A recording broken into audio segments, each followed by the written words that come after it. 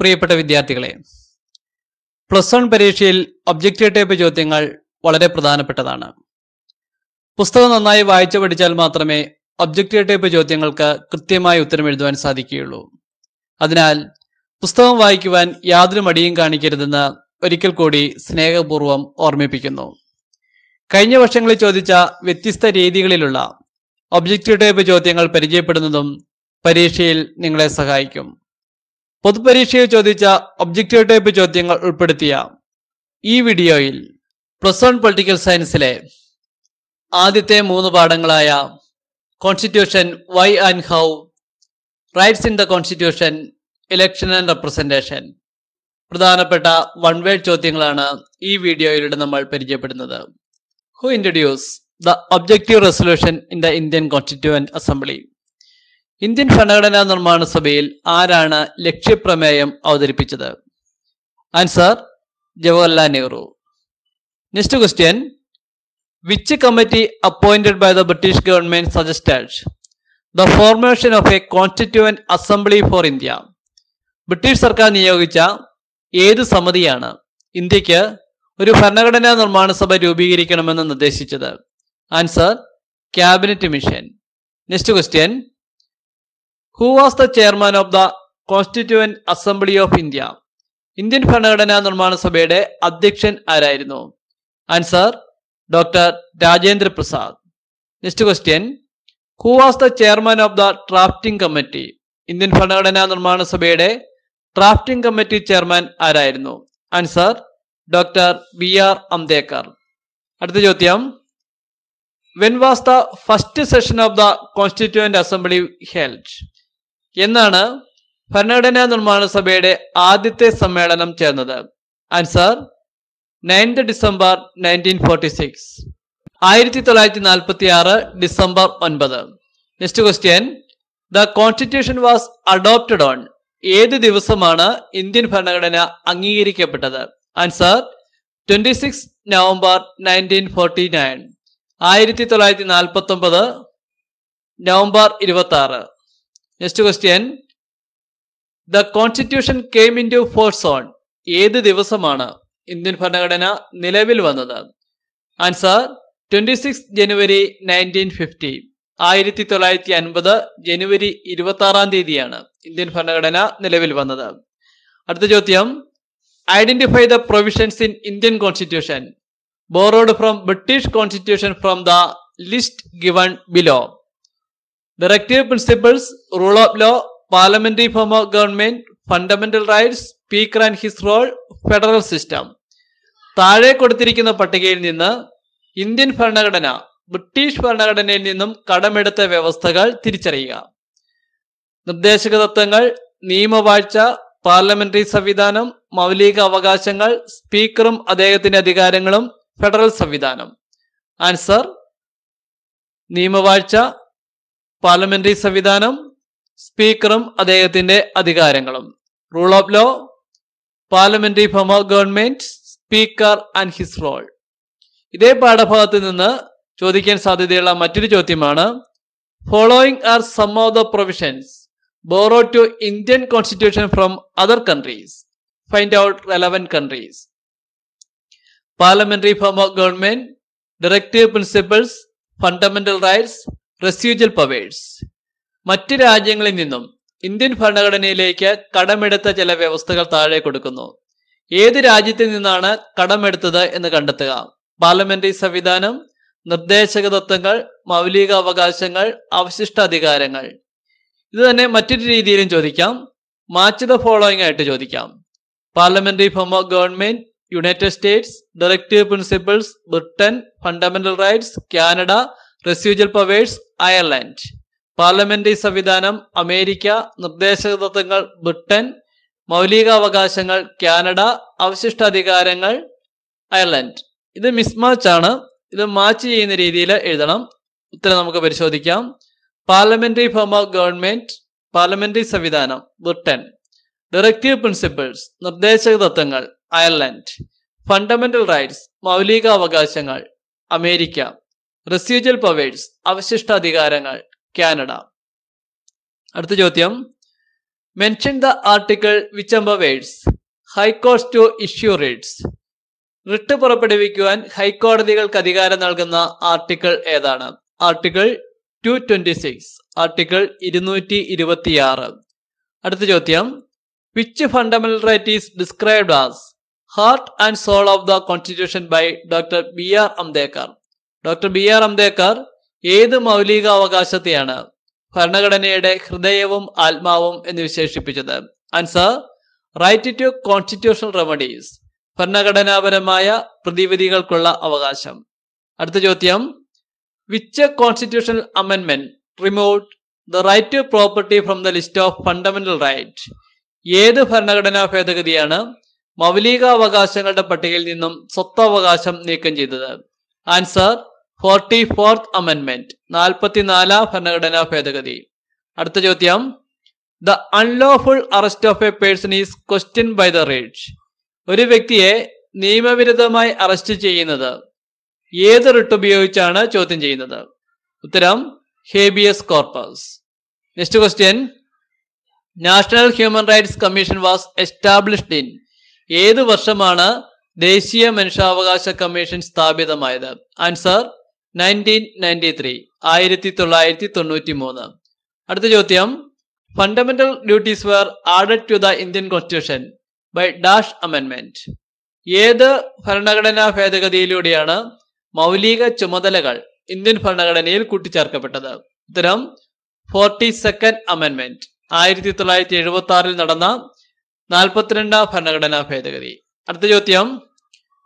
Writ is use to prevent the illegal assumption of anybody in the public office ഒരു സർക്കാർ ഉദ്യോഗസ്ഥൻ അയാൾ വഹിക്കുന്ന ഔദ്യോഗിക സ്ഥാനത്തിന് അർഹനല്ലെങ്കിൽ കോടതി ഏത് റിട്ട് ഉപയോഗിക്കുന്നു? ആൻസർ ക്യോ വാറുണ്ടോ അടുത്ത ചോദ്യം. In nineteen seventy eight by the forty fourth അമെൻമെന്റ് the right to property was removed from the list of fundamental right now it is dash right ആയിരത്തി തൊള്ളായിരത്തി എഴുപത്തെട്ടിൽ നാൽപ്പത്തിനാലാം ഭരണഘടനാ ഭേദഗതിയിലൂടെ സ്വത്തവകാശം മൗലിക അവകാശങ്ങളുടെ പട്ടികയിൽ നിന്നും നീക്കം ചെയ്യപ്പെട്ടു. ഇപ്പോൾ സ്വത്തവകാശം ഏത് അവകാശമാണ്? ഉത്തരം ലീഗൽ റൈറ്റ് ആർട്ടിക്കിൾ മുന്നൂറ് എയിൽ പ്രതിപാദിക്കുന്ന നിയമപരമായ അവകാശമാണ് സ്വത്തവകാശം.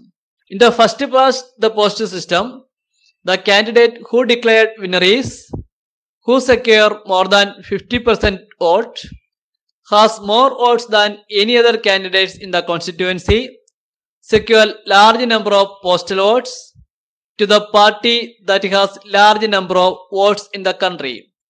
F E T P രീതിയിൽ വിജയിക്കുന്നത് അമ്പതിൽ കൂടുതൽ വോട്ടുകൾ നേടിയ സ്ഥാനാർത്ഥി മണ്ഡലത്തിലെ മറ്റേതൊരു സ്ഥാനാർത്ഥിയെക്കാളും കൂടുതൽ വോട്ട് ലഭിച്ച സ്ഥാനാർത്ഥി ഏറ്റവും കൂടുതൽ തപാൽ വോട്ടുകൾ ലഭിച്ച സ്ഥാനാർത്ഥി രാജ്യത്ത് ഏറ്റവും കൂടുതൽ വോട്ടുകൾ ലഭിച്ച സ്ഥാനാർത്ഥി E T P system the candidate who declare winner is who has more votes than any other candidates in the constituency F E T P രീതിയിൽ വിജയിക്കുന്നത് മണ്ഡലത്തിലെ മറ്റേതൊരു സ്ഥാനാർത്ഥിയെക്കാളും കൂടുതൽ വോട്ട് ലഭിച്ച സ്ഥാനാർത്ഥിയാണ്. Find the agency which decides the reservation of constituency election commission of India the delimitation commission central government S C and S T commission താഴെ കൊടുത്തിരിക്കുന്നവയിൽ ഏത് ഏജൻസിയാണ് മണ്ഡലങ്ങളുടെ സംവരണം തീരുമാനിക്കുന്നത്? ഇന്ത്യൻ തെരഞ്ഞെടുപ്പ് കമ്മീഷൻ അതിർത്തി നിർണയ കമ്മീഷൻ കേന്ദ്ര സർക്കാർ S C S T commission. The agency which decide the reservation of the constituencies is delimitation commission അതിർത്തി നിർണയ കമ്മീഷനാണ് മണ്ഡലങ്ങളുടെ സംവരണം തീരുമാനിക്കുന്നത്. അടുത്ത question which of the following task is not performed by election commission preparing electoral rolls nominating the candidates setting up polling booths implementing model code of conduct താഴെ പറയുന്നവയിൽ ഏതാണ് തെരഞ്ഞെടുപ്പ് കമ്മീഷന്റെ ഡ്യൂട്ടി അല്ലാത്തത്? വോട്ടർ പട്ടിക തയ്യാറാക്കൽ സ്ഥാനാർത്ഥികളെ നാമനിർദ്ദേശം ചെയ്യുക പോളിംഗ് ബൂത്തുകൾ സ്ഥാപിക്കൽ മാതൃകാ പെരുമാറ്റച്ചട്ടം നടപ്പിലാക്കൽ. Nominating the candidate is not a task of election commission സ്ഥാനാർത്ഥികളെ നാമനിർദ്ദേശം ചെയ്യുക എന്നത് തെരഞ്ഞെടുപ്പ് കമ്മീഷന്റെ ഉത്തരവാദിത്തമല്ല. അടുത്ത ചോദ്യം. Who was the first chief election commissioner of India ഇന്ത്യയിലെ ആദ്യത്തെ തെരഞ്ഞെടുപ്പ് കമ്മീഷണർ ആരായിരുന്നു? ആൻസർ സുകുമാർ സെൻ. അടുത്ത ചോദ്യം. Find the agency which draws the boundaries of the constituencies option A election commission of India option B the delimitation commission option C central government option D S C commission താഴെ കൊടുത്തിരിക്കുന്നവയിൽ ഏത് ഏജൻസിയാണ് മണ്ഡലങ്ങളുടെ അതിർത്തി നിർണയിക്കുന്നത്? Option A Indian തെരഞ്ഞെടുപ്പ് commission option B അതിർത്തി നിർണയ കമ്മീഷൻ ഓപ്ഷൻ സി കേന്ദ്ര സർക്കാർ option D S C commission The boundaries of the constituencies are decided by the delimitation commission അതിർത്തി നിർണയ കമ്മീഷനാണ് നിയോജക മണ്ഡലങ്ങളുടെ അതിർത്തി നിർണ്ണയിക്കുന്നത് അടുത്ത ചോദ്യം certain features of the FETP system and proportional representation are given below. Write them into two tables. Constituencies are small geographical areas. B. Constituencies are large geographical areas. C. Elect more than one representative from a constituency. D. Elect one representative from a constituency. E. Party may get more seats than votes. F. Voters vote for political party. G. Voters vote for the candidates. H. Every party gets seats in proportion to votes. F E T P രീതിയുടെയും ആനുപാതിക പ്രാതിനിധ്യ രീതിയുടെയും ചില സവിശേഷതകൾ ചുവടെ കൊടുത്തിരിക്കുന്നു. അവയെ രണ്ട് പട്ടികകളായി എഴുതുക. A. മണ്ഡലങ്ങൾ ഭൂമിശാസ്ത്രപരമായ ചെറിയ പ്രദേശങ്ങളാണ്. ബി. മണ്ഡലങ്ങൾ ഭൂമിശാസ്ത്രപരമായി വലിയ മേഖലകളാണ്. സി. ഒരു മണ്ഡലത്തിൽ നിന്ന് ഒന്നിലധികം പ്രതിനിധികളെ തിരഞ്ഞെടുക്കുന്നു. ഡി. ഒരു മണ്ഡലത്തിൽ നിന്ന് ഒരു പ്രതിനിധിയെ തിരഞ്ഞെടുക്കുന്നു. ഇ. പാർട്ടിക്ക് ലഭിച്ച വോട്ടിനേക്കാൾ കൂടുതൽ സീറ്റ് ലഭിച്ചേക്കാം. എഫ് വോട്ടർമാർ രാഷ്ട്രീയ പാർട്ടികൾ വോട്ട് ചെയ്യുന്നു. ജി വോട്ടർമാർ സ്ഥാനാർത്ഥികൾ വോട്ട് ചെയ്യുന്നു. എച്ച് ഓരോ പാർട്ടിക്കും വോട്ടിന് ആനുപാതികമായി സീറ്റുകൾ ലഭിക്കുന്നു. ഇത് രണ്ട് ടേബിളിലായിട്ട് തരംതിരിച്ചെഴുതണം ഇതാണ് അതിന്റെ ഉത്തരം. എഫ് ഇ ടി പി സംവിധാനത്തിന് കീഴിൽ വരുന്നത് constituencies are small geographical areas മണ്ഡലങ്ങൾ ഭൂമിശാസ്ത്രപരമായി ചെറിയ പ്രദേശങ്ങളാണ്. പ്രൊപ്പോർഷണൽ റിപ്രസെന്റേഷനിൽ വരുമ്പോൾ മണ്ഡലങ്ങൾ ഭൂമിശാസ്ത്രപരമായി വലിയ മേഖലകളാണ്. Elect one representative from a constituency F E T P സംവിധാനത്തെ തിരഞ്ഞെടുക്കുന്നു. Elect more than one representative from a constituency in proportional representation system ഒരു മണ്ഡലത്തിൽ നിന്ന് ഒന്നിലധികം പ്രതിനിധികളെ ആനുപാതിക പ്രാതിനിധ്യ രീതിയിൽ തിരഞ്ഞെടുക്കുന്നു. Get more seats than vote in F E P system പാർട്ടിക്ക് ലഭിച്ച വോട്ടിനേക്കാൾ കൂടുതൽ സീറ്റ് ലഭിച്ചേക്കാം. Every party get seats in proportion to votes ഓരോ പാർട്ടിക്കും വോട്ടിന് ആനുപാതികമായിട്ടാണ് പ്രൊപ്പോർഷണൽ റിപ്രസെന്റേഷനിൽ സീറ്റുകൾ ലഭിക്കുന്നത്. വോട്ടേഴ്സ് വോട്ട് ഫോർ കാൻഡിഡേറ്റ്സ് വോട്ടർമാർ എഫ് ഇ ടി പി സംവിധാനത്തിൽ സ്ഥാനാർത്ഥികൾ വോട്ട് ചെയ്യുന്നു. Voters vote for political parties in proportional representation ആനുപാതിക പ്രാതിനിധ്യ രീതിയിൽ വോട്ടർമാർ രാഷ്ട്രീയ പാർട്ടികൾക്കാണ് വോട്ട് ചെയ്യുന്നത്. ആദ്യത്തെ മൂന്ന് അധ്യായങ്ങളിലെ പ്രധാനപ്പെട്ട ഒബ്ജക്റ്റീവ് ടൈപ്പ് ചോദ്യങ്ങളാണ് നമ്മൾ ഈ വീഡിയോയിലൂടെ ചർച്ച ചെയ്തത്.